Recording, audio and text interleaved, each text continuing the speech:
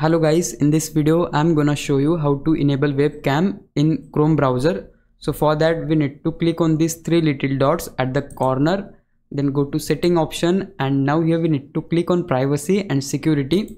Once you click there you will just need to open the side setting now. So here it is just open it and now here we need to look for camera option so as you can see here just click on camera and now here we need to select it on site can ask to your camera so just select it. Now guys before we move forward i really want to ask you something and that is i am so close to achieving a big milestone which is 1000 subscribers.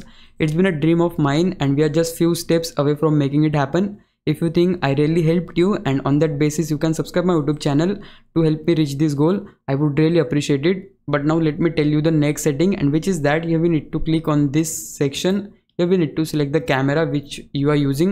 In my pc i'm using lenovo fhd webcam so i'm just gonna click on this.